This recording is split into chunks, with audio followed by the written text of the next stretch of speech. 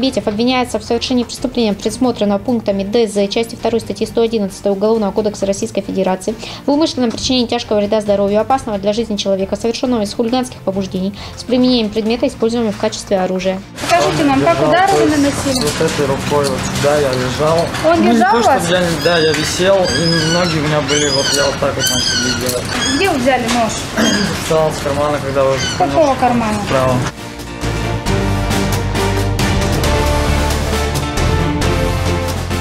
Вам понятно предъявленное обвинение? Понятно?